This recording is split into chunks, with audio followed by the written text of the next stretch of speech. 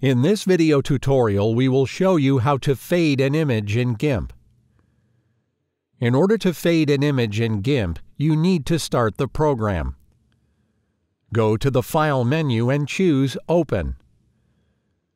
Select the image on your computer and press Open. Go to the Layers window. Right-click on the layer and choose the Add Layer Mask option from the Appeared menu. In the pop-up window, make sure that white full opacity is selected and click Add. A white box should show up next to the thumbnail of your image in the Layers menu. Right-click on the layer and make sure that the Edit Layer Mask is selected.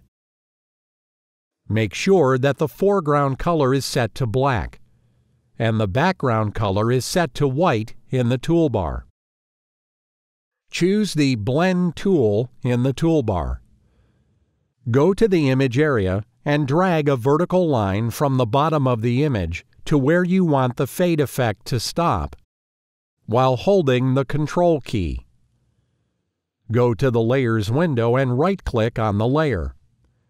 Choose Show Layer Mask in the Appeared menu right-click on the layer again and select Apply Layer Mask. Your image has been successfully faded.